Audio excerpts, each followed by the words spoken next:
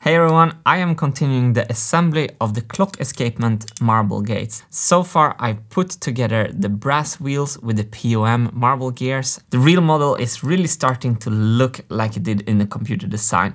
And today I'm getting ready to do the first welding. So I need to weld these steel profiles together. To get everything in very precise locations when welding, I'm designing this welding jig and here I'm programming the tool paths and then I'm cutting this plywood part on the CNC machine. And with this part, I'm ready to do the welding. So I made a dry run here on the jig and it works great, but I did remember that I need to cut threads in this profile first. So I'm a little bit nervous about that because this is stainless steel. Breaking taps was kind of a signature move I did in the beginning on this YouTube channel. I need to be very careful when cutting these threads to be successful. And with a lot of oil and patience, I managed to cut two really nice looking taps and we're ready for the welding. This is the gorgeous part that will bolt into these threads I just cut. I will talk more about this part in another episode, but I just wanted to show you what goes in there. So let's try attaching this.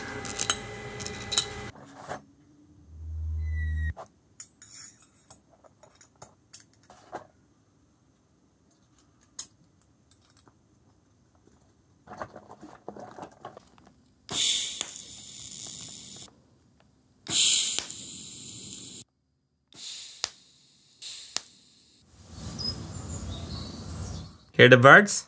Great sign. This looks actually pretty good. I got it together well. So the next step is now these rails that go on like this. And to hold these rails accurately, I made these double-sided welding jigs.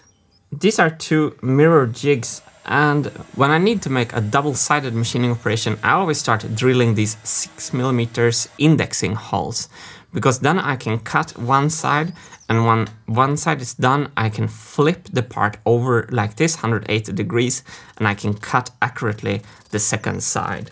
So in an ideal world, I would use aluminium for welding jigs like this, but I don't have it and I don't really have the correct machine for it, so I'm using what I have. Let's see how this goes together. So the idea is to index off this one thing here. Oh, that fits in perfectly there. And now we get the position on these two. Ooh, snap. You can kind of already see how these are nice and parallel up here now. That's a good sign.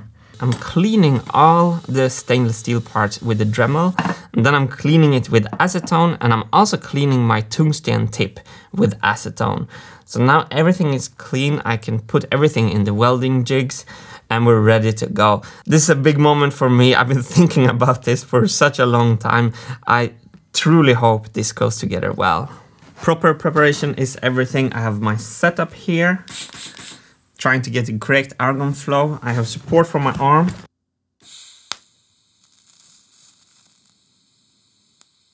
Oh, I think I can't help myself. I wanna, I wanna fill it a little bit on the sides as well. Most likely not necessary. I'm gonna do a tack on this side here as well. Ah. Yeah, I melted my bracing way prematurely. Not good. I have to wash this out. Bond! Fan också. Ah! Oh, I'm so stupid. Why did I go on? Ah! Oh, I did it completely right the first time. I got overconfident, like, ah, let's do some another tack weld. And I just welded through the whole thing. It fell into pieces. All my accuracy is gone and now I have a big cleaning up to do. Long story long, my settings are wrong for my thin filler rod. David is gonna teach me how to fix that. So it ended up on the surface and I wanted to wash it out. So I just kept on going and I just melted the whole thing. So I actually have only one shot and I should keep to my designated areas that I have designed. I was bragging, one minute ago I told you that I plan to weld here and then I started, let's weld a little bit over here as well. I'm gonna fix it now. So here's the loose piece that fell off. So good reminder of why I have to be very, very careful when doing this. So I'm not making excuses, but setting up welding for the camera as well as for myself is always a compromise. So how about prioritizing the weld result over the camera angle on this next weld, okay? Done. Stop. Good. Nailed it.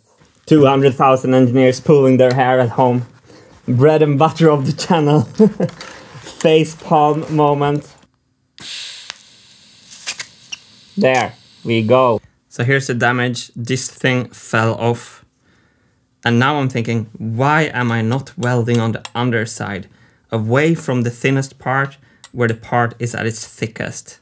There's a perfect V-groove there. It won't be in the way for the marbles. Why am I not welding there? Let's see if we can slip this one out. Oh, that's nice though. We are having a super promising result you can see how everything is parallel, the weld jig is doing nice. It's just this major, massive screw up. This is a much better plan, I can tell you already now. Okay. Oh, I can actually see the arc. Yes, yes, yes, yes, yes, yes. That's the way to go. Everything looks great except for the piece I obliterated. Just one tiny detail. Okay, I'm gonna challenge myself to see how fast I can CAD and make toolpaths for this new welding jig we need to save this mess I created. First, these are the two old jigs as you can see here. So let's hide those. And then I'm gonna start a timer here. When the toolpaths are on a USB stick, I'll stop the timer. Create sketch, boom. Project, I need this and I need this. Boom. 10 millimeter. Boom. Throw two random holes in because I don't want to use tabs. That's all I need. I have my shape. Boom. We have the shape. Let's go over to manufacture. Uh, I'm choosing a drilling operation and we're gonna do a deep drilling with a pecking depth, boom, boom, boom. Now we're gonna make a 2D contour. Come on, come on, come on. And I'm gonna use a six millimeter tool select tool, six millimeter flat end mill, boom. I'm just gonna hit OK, ignore safety warning, ignore. Post process this to the USB stick, folder name, blah, blah, blah. A, blah, blah, blah folder. B, save. Got it. Four minutes, okay.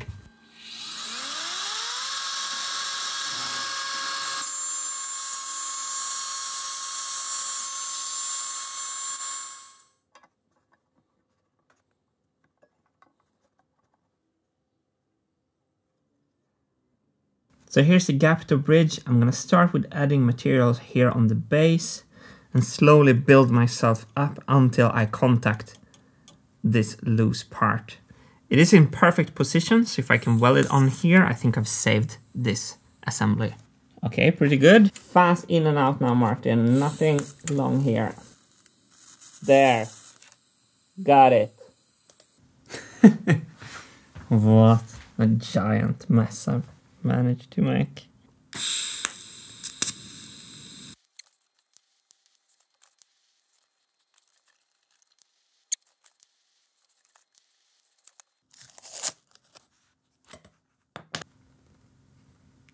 That position doesn't look bad at all. That little volcano weld is not something to write home about though. Let's polish this a bit and see if we feel better about ourselves. This is clean and it feels better, I have to say. That fits nicely in the back. So I'm gonna put the tube on now and then I'll know if my calculations are correct. I had to think a lot about the thickness of the tube and how that would affect the marble space. Uh, this is not working. The marble is getting stuck. I thought it was just this that needed to be in the correct place. But also when I push it down here, the marbles is stuck. And I was like, no, I'm a useless designer. I can't CAD. And then I realized we bought the wrong tube. I found the old tube and that's much smaller. So again, I hate sourcing parts. I clicked too fast. This is the tube I designed for. This is the tube I just ordered and put on. So let me put a short piece on this smaller correct tube on. It goes on much easier. And as you can see, it has a much flatter profile. Maybe my design is still spot on, just the wrong tube. Let's try change them out. Now it should roll. Perfect.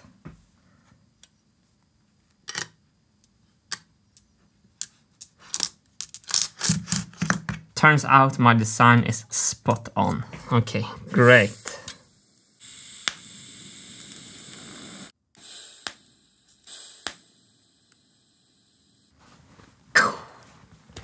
Oh my god, that was a bumpy ride, Wilson. We're home and dry now, though. I'm so happy it's all welded. One huge disaster professionally averted by uh, yours truly. Just a bump in the road, you know? now all the fun stuff begins. It's perfect. It's perfection. It exists. Perfection exists, okay?